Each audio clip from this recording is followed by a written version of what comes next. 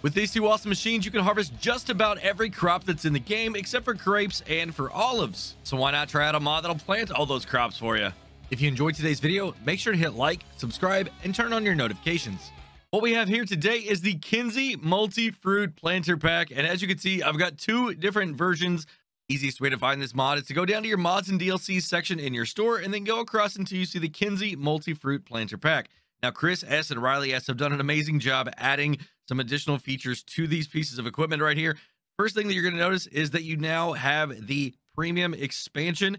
Those are going to be the carrots, the parsnips, and the red beets, and everything else, right? So if you get the regular 3665 or the 4905, you're going to have those additional crops along with everything else that is like a row crop, including maybe some grass and some um, oilseed radish. But if you want even more crops, you need to come over here to the unrealistic. Now, this is going to add your potatoes. It's going to add sugarcane and it's going to add poplar. Yes, all of those crops you are now going to be able to plant with just this one piece of equipment. It's only $72,000 too. $72,600. That is an absolutely insane price, guys.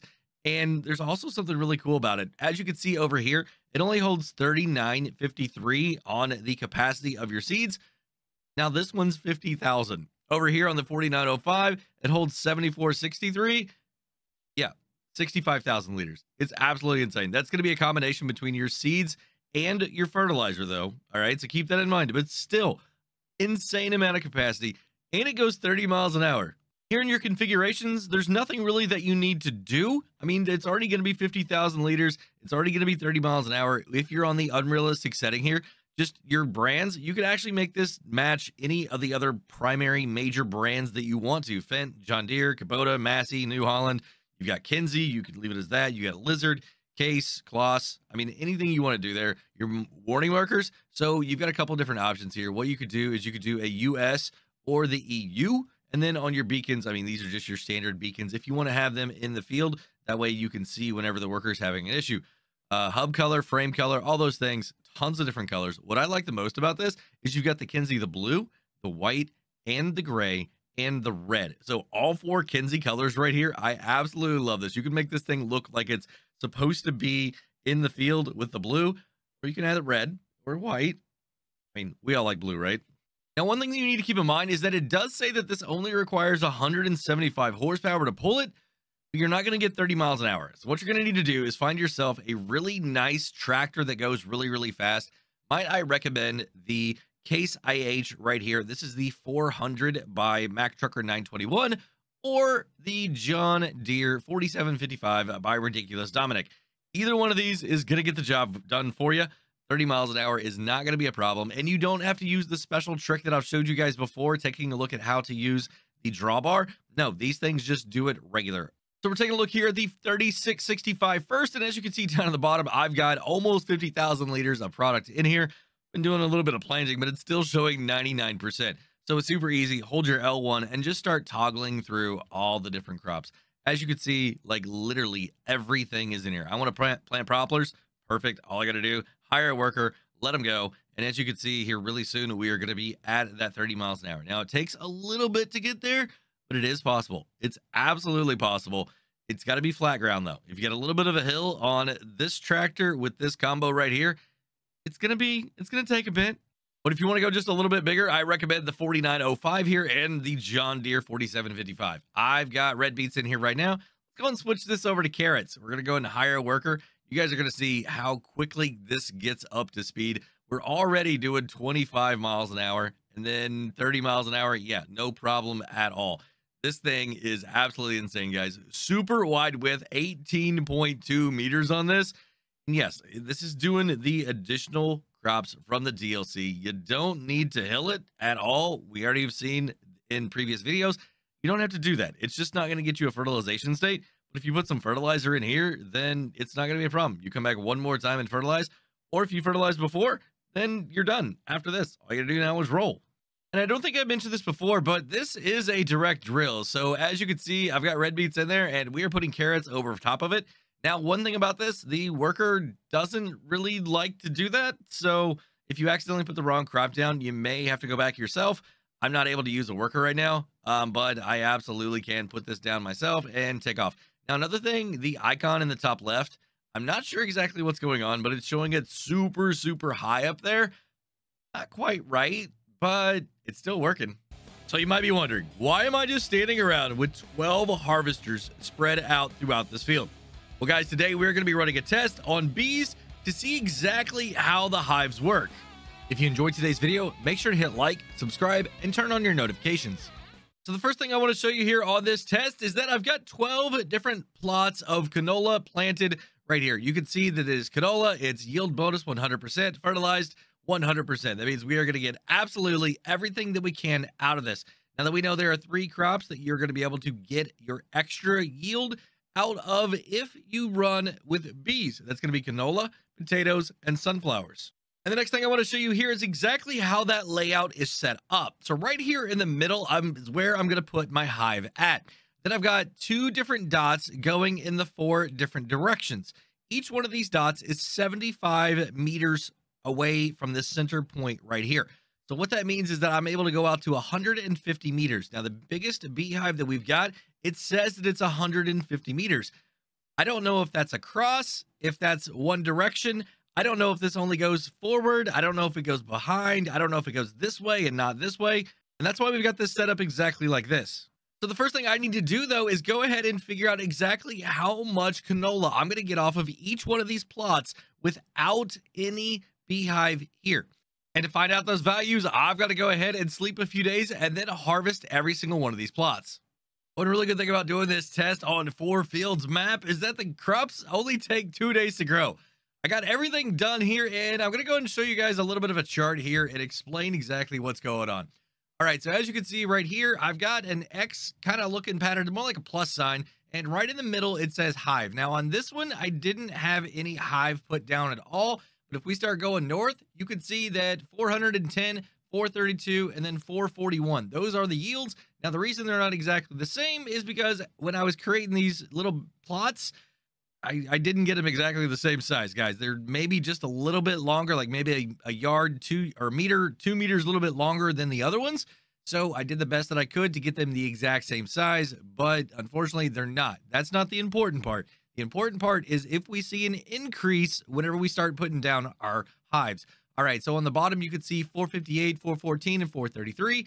Off to the west is 439, 436, and 426. And off to the east is 436, 402, and 446. Now, this was canola, 100% yield bonus, so everything was done exactly as it should have been, and no hive placed in the middle again. For the next part of the test, I've gone ahead and reset everything back to where it was before. You can see right here that I've got canola. It's 100% yield bonus and it's fertilized 100%. This is exactly the way it was whenever we started our first portion of this test. What I need to do now is go ahead and put down a beehive right here in the middle. The way I'm going to do that is come down to construction. I'm going to go across to animals, go down to bees, and then we're going to pick this bad boy right here, the Beehive 33 Langstroth hives. So I'm going to go ahead and just put this right here in the middle as best as I can. There we go. Perfect. And I'm going to go ahead and also put down one of these honey collection points. All right. We're going to go and just put that right there. Now, as you can see, the bees are already coming out, so they're good to go. It's centered up right there and right there, and it's also centered up left to right as well. Now, the one thing that I'm not really sure about on this, or actually two things, is are the bees only going to pollinate this side? I don't know if anything's going to happen back here at all.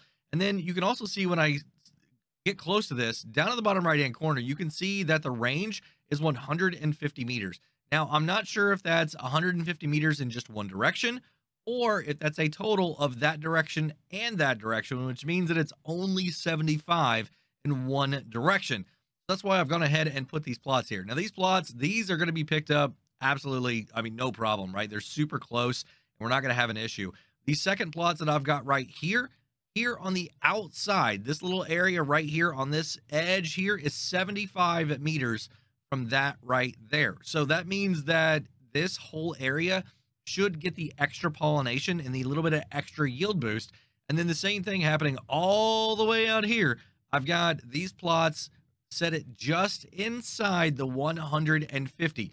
So 150 is right here on this outside edge. So that whole plot should get uh, fertilized and or not fertilized, but pollinated, and should be able to get that little bit of extra boost. Now, once again, canola, potatoes, and sunflowers are the only crops that we're going to be able to do this with. Let me go ahead and sleep over here at the house for a couple days, and then we're going to come back and take a look at this data. All right, it's now time to go ahead and start harvesting. And one thing I want to look at first is when I walk over here, I don't see any type of yield bonus at all. It still says 100% and 100% fertilized. So that's not giving me any indication. I'm actually going to have to get in the harvesters here and fire them up and get this harvested. All right, I've got all four of the first plots right here harvested. Let's go ahead and take a look here at the data. And as you can see right here, this is the original values. I've eliminated everything else from around the outside. And what I want to do is actually first look at the very bottom one because that is the one directly in front of what we've got going on. And as you can see, the value is 458 liters. So now what we're looking for is somewhere around a 2% increase. So here we go, 469 liters. So if you do the quick math on that, 458 liters times 1.02, which is 2%, is going to give you 467.16. So there must have been a little bit of rounding with the 458 and we got 469 now. So we got an extra liter out of it. Maybe a little bit more rounding is going on as well. So I say that 2% pollination boost right there. Absolutely. You're going to get two more percent by having these honeybees here on your farm. Now, the next one that I want to take a look at is going to be the red one right here, and that is to the north. So the original value was 410 liters, and after we put down the beehive, it's 420.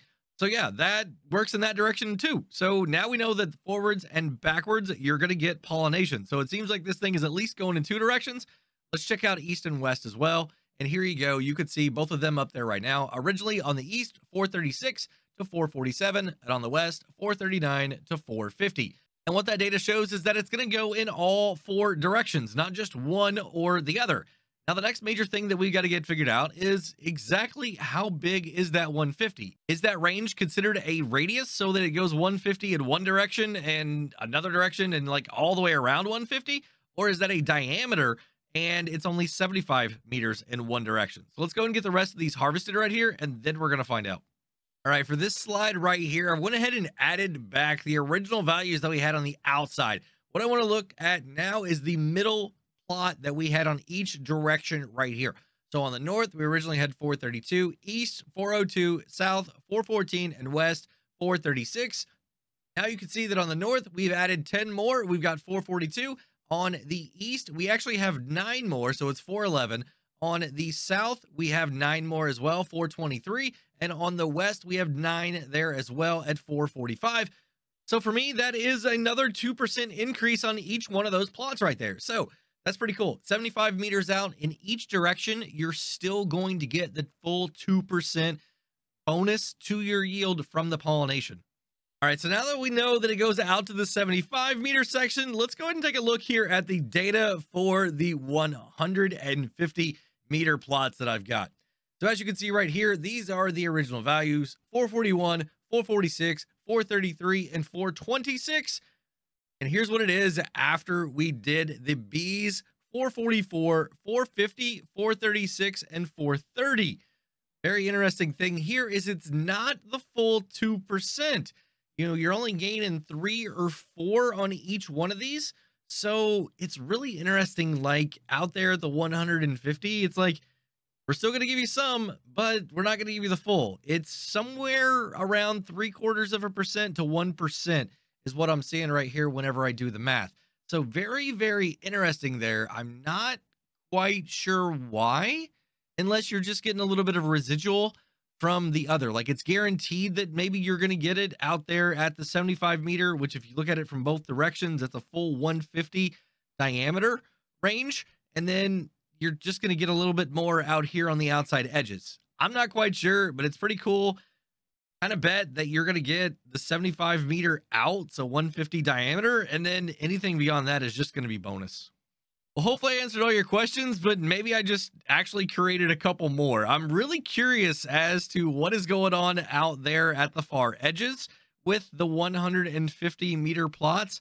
But I mean, I think either way, if you put this kind of in the middle of your field, you know it's going to work. And if you put it on the edge of your field, I mean, you're really only getting half of the benefit of it that you potentially could. So maybe try and find some spots where it's like between fields and you're going to grow canola on both sides or in both fields, or you got sunflowers in one, canola in the other, or maybe potatoes, or maybe you make some islands out in the middle of your fields to put your bees in and you do it strategically so that you can get that 2% boost over the whole field. In this video, I'm going to show you step by step how to get 100% yield out of your sugarcane harvests. If you enjoyed today's video, make sure to hit like, subscribe, and turn on your notifications. The first thing I want to do is go over the status here of this field. As you can see in the bottom right hand corner, I don't have any yield information, and that's because this field has just been harvested. Now, sugarcane is going to regrow for you, and it's going to take eight months until it's ready to harvest. Now, the first thing I want to test out is what does mulching do here for my yield? So I'm going to go ahead and take my Case IH and this awesome six meter mulcher right here, and I'm actually going to mulch this bottom half of the field. And the reason I'm doing this is because in base game, you're going to get 2.5%. Now, I know it's not a lot, but it is a little bit, and it helps you get to that 100% yield. I also have plowing, lime, and weeds turned off, so I don't need to do any of those three processes to be able to get those bonuses here on this field. I got the mulching done on the portion that I wanted to, and as you can see, there's no need for rolling, and the field has no fertilizer right now. But just to be sure, I'm going to go ahead and roll here this first couple passes on the day of the harvest. Now, I know that it says it doesn't need it, but I'm going to go ahead and do it anyway and see if we can get any type of change here in the status. So it is down. You can see that it's actually doing something. It's engaged. And you can see right here that there's no change in the texture. I didn't get anything out of it. It's not showing any different look here. And if I take a look at my map, nothing happened here either. I mean, it, it still says not rolling, which I didn't expect anything, but I just wanted to be sure. And the last thing I'm going to do here on the day of harvest is I'm going to go ahead and put down some fertilizer. And as you can see, it is putting down a fertilizer status. If I come down here and get rid of my mulching, then you're going to see that it's actually doing it there as well. I have now slept a day, so it is now the day after harvest. And as you can see down in the bottom right hand corner, I now have a yield bonus of 75%, and it's 50% fertilized on this half over here. Let's go take a look here at the other half that actually had the mulching done. I don't have anything, guys. That means that I completely got rid of the crop whatever we mulched. So do not mulch your sugar cane if you want it to actually regrow. We'll take a look here in the menu as well, and it still does not show that it needs any rolling done to it at all. The mulch portion, once again, does not have anything growing in it at all. I'll go ahead and confirm that right here. As you can see in the growing status, I have nothing down on the bottom portion of that field. There is nothing there, guys. I'm going to hold off on rolling because the menu doesn't say that it actually needs it right now, but the next time I do, it's going to be on this portion of the field right here. But what I am going to do is go ahead and put down a second layer of fertilizer you can see here in the menu, it went ahead and took that second stage of fertilizer. Now, once again, this is the next day after harvest. We are now in October, so that means this is the second day or month after harvest. And as you can see, the yield bonus is now 98%. I don't know what I need to do except rolling, but it doesn't show me that I need to actually roll down here. It's still showing 98% as well. So I'm going to go ahead and roll this section down here. It doesn't tell me that it needs it. We're going to test it out. I'm going to leave the middle section right there alone, not have anything done to it at all. We're going to see exactly what happens here. I got a feeling it might crush it, and it's not. All right, so that's good news. All right, so I just got done rolling, and as you can see, it's still at 98%. I don't know what I'm going to be able to do to get that extra 2%, though. Day number three is here, and once again, it's still at 98%. Doesn't matter which section of the field I stand in, it's going to show 98% yield bonus and 100% fertilized. If I look at the menu, it's still not showing me that it needs rolling. I've gone ahead and turned off the fertilization just to make sure that it's not covering it up. And yeah, it's just not there at all.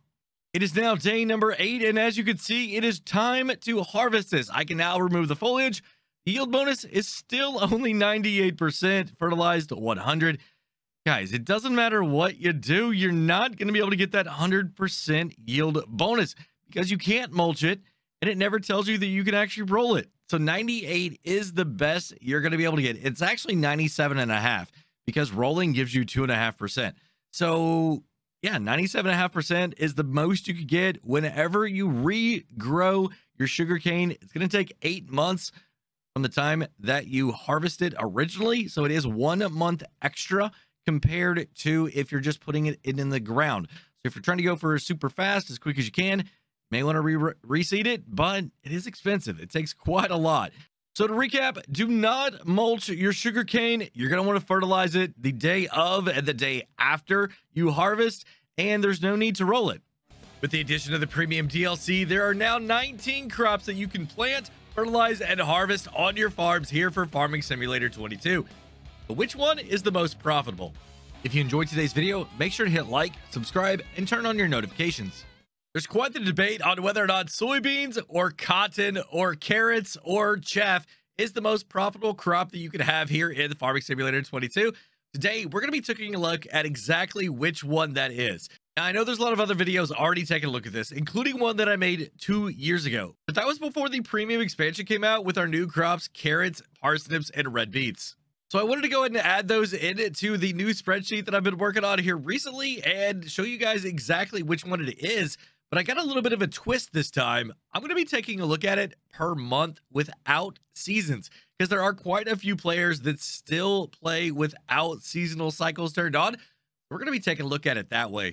And the reason I'm taking a look at it without seasonal cycles is because in a 12 month period, the only crop that you're going to get to cut more than once is going to be your grass. And that proves to be very, very profitable.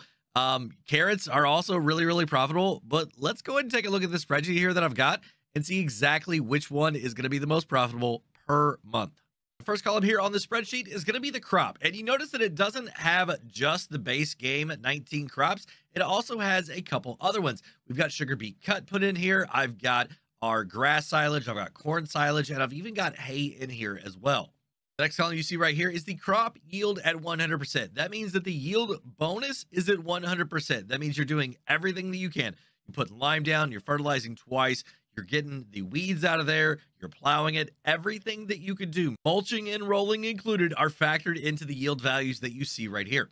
The next column, you can see that that is the amount of straw yield that you're going to get with each one of the three crops. It's going to be 73,600. Now, these values are based off of one hectare of ground. So if you've got a field that's 3.5 hectares big, we'll just multiply these uh, values right here by 3.5. Next column you see right here is the peak easy crop price. The way that I got these is I went in and looked at the peak price fluctuation value for each one of these crops. And to go along with that, the peak easy straw price is next. And when you take the crop yield, you divide it by a thousand and then multiply it by that easy price right there, you're going to get the gross crop revenue. As you can see for wheat, it's 21,769.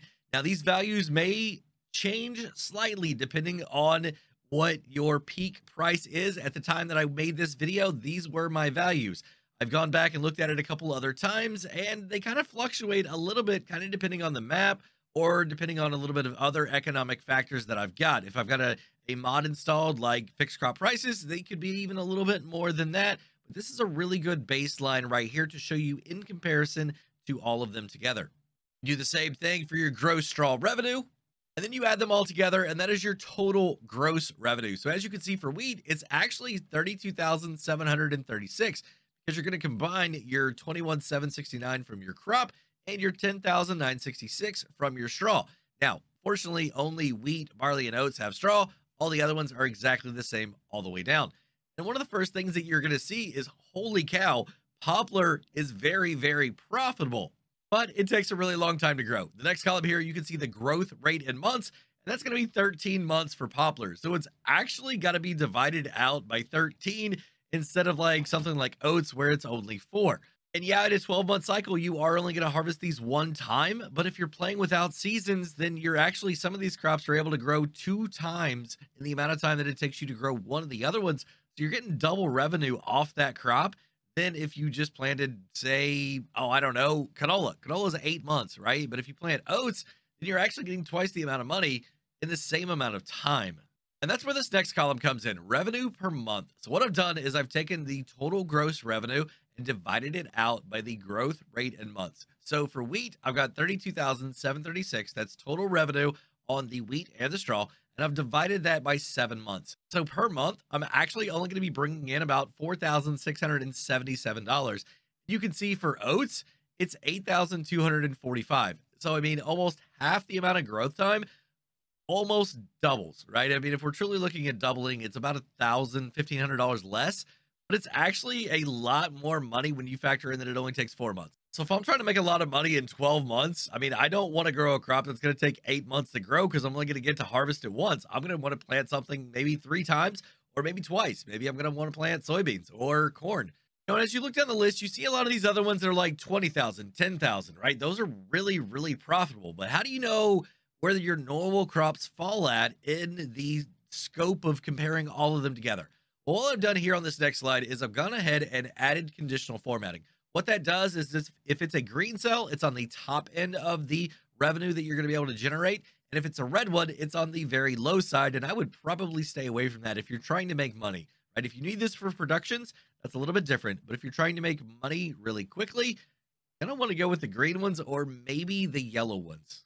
And as you can see, it's poplar coming in at 20,833. Yes, it takes a very long time to grow, but it's the most profitable crop per month if you're not running seasonal cycles. Right behind that is going to be your corn silage coming in at 20,427 and then carrots at 20,251. And don't think the corn silage is the only one that pays out really well. Grass silage does too. You're going to be able to do that every three months. So you've got to cut it four times instead of just three times. So you're not making as much money by doing quite a bit more work in reality. So I know that everybody likes soybeans. Guys, that's nowhere near the top of the list. I don't even think it's in the middle because it's one of those peachy colored ones. I mean, that's not really that great. I mean, I would rather have a yellow one over any of them that are tinted a little bit red. I mean, just straight up, stay away from canola and sunflowers. They don't pay out very well at all. And I think a lot of these crops that pay out really well, traditionally, we haven't really used them a whole lot because it's not an easy way to be able to plant or to harvest these crops. But with the introduction of some very awesome harvesters that we've got recently from Mark Thor and Chris S and Riley S, I mean, it's made harvesting these crops a lot, lot easier, guys. So you definitely want to go check out my fast farming playlist. Got a lot of videos in there showing you all the new equipment, how you're going to be able to do it a lot faster. We got planting tips and tricks in there as well. Definitely want to go check out that playlist if you're wanting to use these right here. Now, towards the bottom of this list, there are some crops that are also going to be able to be regrown. You've got sugarcane, you've got your grass, and you've got grapes, olives, and poplar. They all regrow without you having to replant them, so you don't have the cost of seed associated with the initial investment again. So the regrowth rate in months on those is going to be anywhere from eight months on sugarcane to three months for your grass or you got six months on your grapes, fives on your olives, and 14 on your poplar. So, what's the regrowth revenue per month on a regrow? So, if you want to leave it in the ground and let it go again, well, as you can see right here, for sugarcane, it drops off just a little bit. Instead of being 12,118, it's now 10,603, and it turns it into a yellow cell because now you're taking an extra month to be able to do this. Now, I don't think that that loss is enough to say, hey, I need to replant the whole thing because it's going to cost you as much in seed and you know all the other things that you need to do to it for that initial planting as what you're going to be maybe losing here by going the extra month. So after looking at this, I say that poplar is going to be the absolutely best crop that you could plant if you're looking to make the most revenue per month. Now, that doesn't mean you shouldn't do any of the other crops. I mean, you absolutely should. Harvesters are great fun. There's lots of really cool ones that you could use, whether you want to play realistically, you want to play unrealistically. There's a ton of them out there, guys. So don't think that you have to do poplars if you want to make your farm grow really, really fast. I mean, do the other ones too. Just if you're in a crunch and you need a little bit of money kind of quick and you don't want to cheat it in with the government subsidy side, then take a look at this sheet right here that I've got and maybe pick one of them that's in the yellow. The Colossus 9000 is one of the best fast farming mods for Farming Simulator 22. But I hear you, you want to use one of the other mods available on ModHub? You still want to go fast? Let me show you how. If you enjoyed today's video, make sure to hit like, subscribe, and turn on your notifications. A lot of you guys have been asking, how do we make the other harvesters go fast as well instead of having to use the Colossus all the time? There's a ton of other great mods out there from John Deere, Case, New Holland. You got some Fendt. I mean, there's all kinds of really awesome mods available on the ModHub. How do you make them go fast? And no, Chris didn't come out with some brand new harvesters or anything like that. Really, all you need is just the header right here, and you're going to be able to attach that to any of these harvesters and let it go fast. Easiest way to find this mod is to go down to your mods and DLC section in your store, come across to the Colossus Harvesters pack here. And then once you get in here, you can see that you've got some different options for your headers. Now you can see that you've got a Titan header and then a Titan header Unreal. The really cool thing about the first one is that it's only 10 miles an hour, or you can go 60 miles an hour if you want to on the second one. You're doing corn, hey, you got those options there too 10 miles an hour or 60 miles an hour. Or if you want to be able to drag your header around anywhere on your farm, get the Titan Draper right here. This one is 10 miles an hour. This one is 60 miles an hour. Other than that, it, it's all the other really cool stuff as part of this Harvesters pack. But this is the important part right here. So let's get in here and take a look at some configurations. On this Draper header right now, like I said, it's got the the uh, front portion so that you can actually connect it to your harvester, drag it anywhere around that you want to. This is 13.7 meters wide, so it's only 0.1 meters more narrow than the other one. The other one's like 13.8, right? If we go take a look at it, yeah, 13.8 versus 13.7. And the other really cool thing about this, whenever you look at your main color here, you can actually select a lot of the other uh, brand colors. All right. So all the ones at the top, those are like a lot of the really cool ones that Chris has put in here. Then you start getting down here. Claas red. Yep, absolutely. Yellow, Claas yellow. Yes. Claas Gray, Kubota. You want a Kubota harvester? There you go.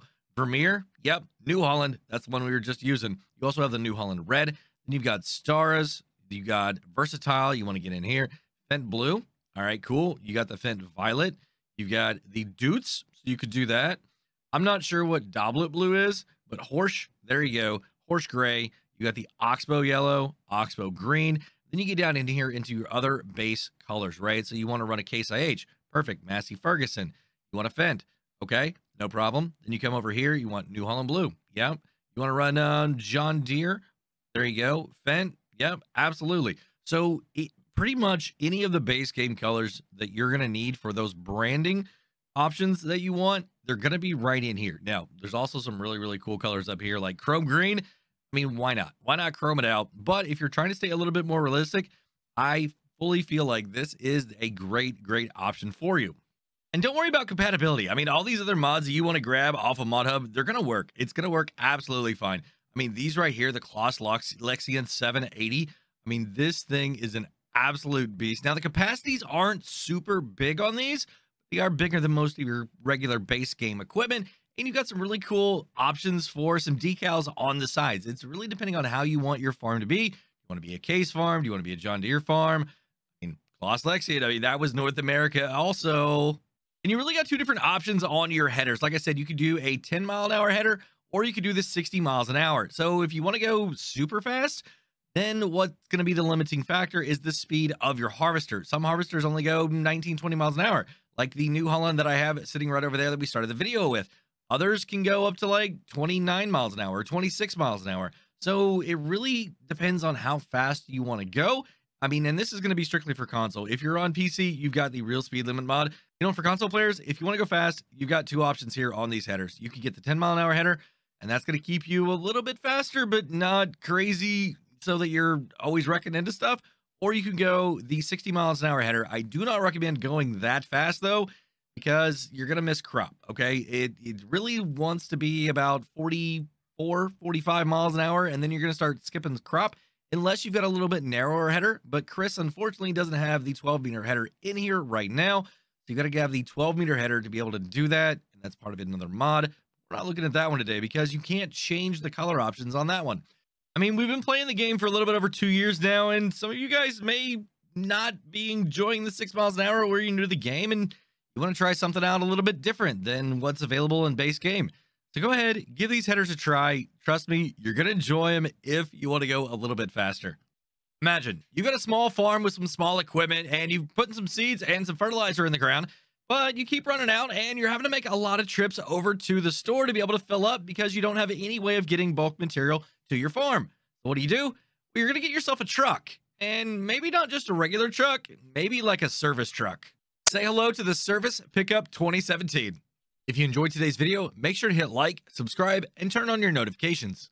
Now, I know, I know, this thing looks like the base game truck, and that's because it is. It was taken from the base game model, the 2017 pickup that we have, but this thing right here, the Service Pickup 2017, was released on May 20th, 2022.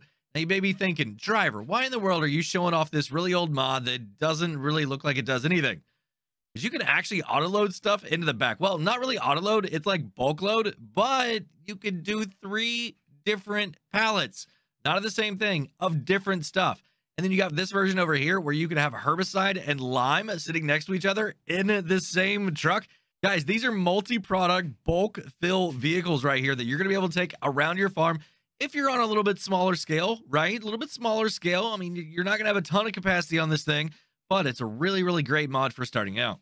Easiest way to find this mod is come down to your mods and DLC section in your store. Go over to the service pickup 2017 you can see that there's only one option right here. Base price is $45,000. Now, there's a couple different things here on the configuration. You can get default, and it's going to look just like your regular base game truck. All right, nothing different at all, just $45,000. Or you could do a gooseneck, where now it's going to actually attach a gooseneck trailer to it right there in the back. Or if you keep going across, you can get pallets. Yes, you can get pallets in here. It's going to hold 9,000 liters of product. So 9,000 of all the same kind, or you could do 3,000 of three different kinds. Now it's only a $500 upcharge for that. Great, great deal right there. Or you can come over here to the liquid tanks. Now this is going to be for liquid fertilizer or herbicide. Once again, $500 is all it's going to charge you. 8,000 liters. That means you can put 4,000 liters in each one of these.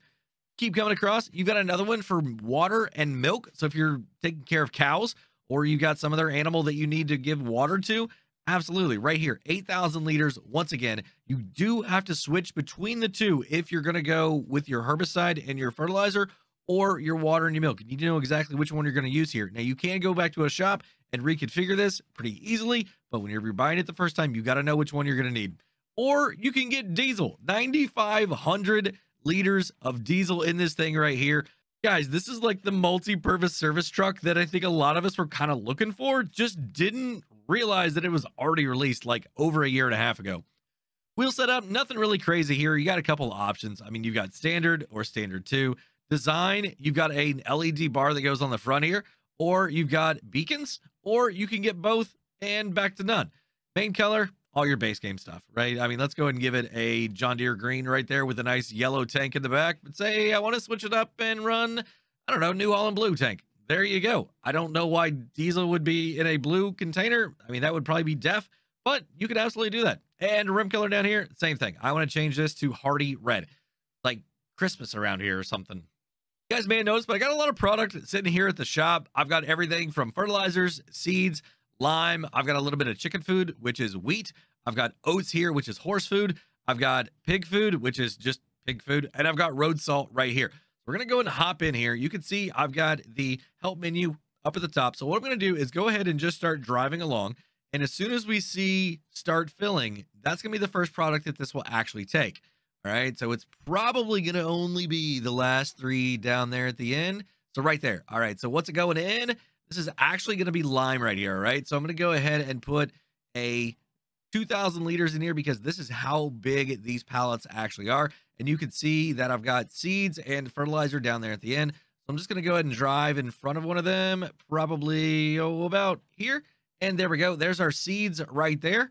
And then I'm going to go ahead and go one more until I can get kind of out of range a little bit right there. And there you can see that we have three different products in the back of this truck right here. I'm going to come over here and we're actually going to unload this now so you guys can see exactly what it is. So I'm going to hold my R1 and triangle. It's going to unload the lime. It's going to unload the seeds and the fertilizer as well. You can see three different products were in the back of this truck. When they come out, they are going to be full pallets. They're too heavy. I'm not able to lift them at all. Guys, that is absolutely insane that you're able to carry three different things there in this truck. Now, another thing that I want to do, I want to come over here and test out our um, other types of pallets. All right. So I've, I can get the refill car here. So let's go ahead and do that.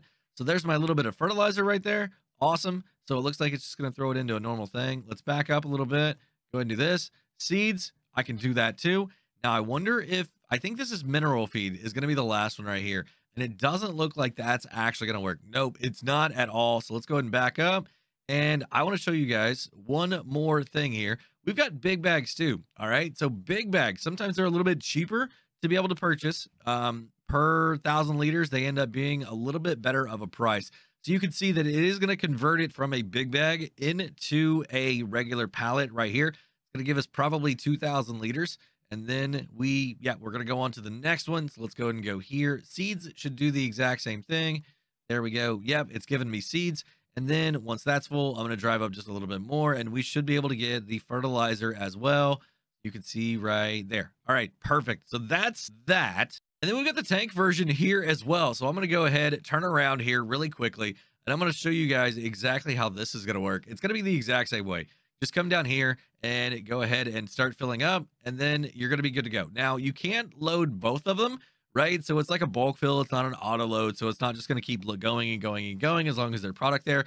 You actually have to engage each one of them with your left joystick by pressing down on L3 but it is taking it and putting it in there. So you got a vehicle out in the field that you need to, you know, give a little bit of uh, fertilizer to or a little bit of herbicide, right? You don't want to drive that vehicle all the way over here to the store.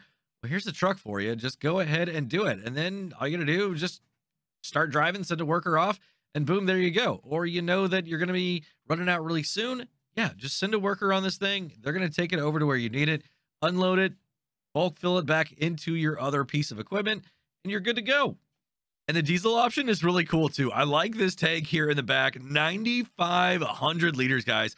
All I'm to do, jump in here, pull up next to your tank, hit refuel, and it should be going to go. So it's probably going to try and fill up your vehicle first if you've been driving it around a little bit, and then just back up until you see it again, and then go ahead and start. You can see that down there in the bottom, we've already got almost 200 liters in here right now. Now, I know you don't probably need 9,500 liters in here, so just get you a little bit and then get on your way, get back out in the field and get that tractor moving again. And to reconfigure this thing is actually really easy. Just pull up over to where your shop's at, go in here, go to customize, and then boom, you're going to be able to switch between the different options that you want. So you got pallets in there right now and you want to switch over to your liquid tank. Well, pretty simple. All you're going to do, pay 500 bucks and it's going to switch over for you. All right. So we're going and customize. Yes. All right. Perfect. Now our truck is set up with tanks in it come back over and I want to go back over to my pallets now because that's what I need. Look, it doesn't cost me anything because we've already purchased it at one time. So now I can switch back over to this for absolutely free. So go ahead and hit customize again. Boom. There you go. Now, I wouldn't do that with any product in the back. I would make sure that you have this thing completely emptied out. But if you need to take and shuffle things around, this is a great way. Just make sure you maybe have like a shop over at your farm or be really close to the shop right here. Now, I know this mod isn't up to the standards of some of the other more recently released ones. I mean, the textures are a little bit off on this, but I still feel like it's a great starting piece of equipment right here to kind of help your small little farm be a little bit more efficient. Well, that's going to be it for today, everybody. If you enjoyed the video, go ahead and give it a like if you would. Make sure to hit subscribe and turn on your notifications to keep up to date on my future videos. While you're waiting on those future videos, go and check out one of these two right here. Have a great day, night, evening, everybody. Until next time, this is Driver53 signing off.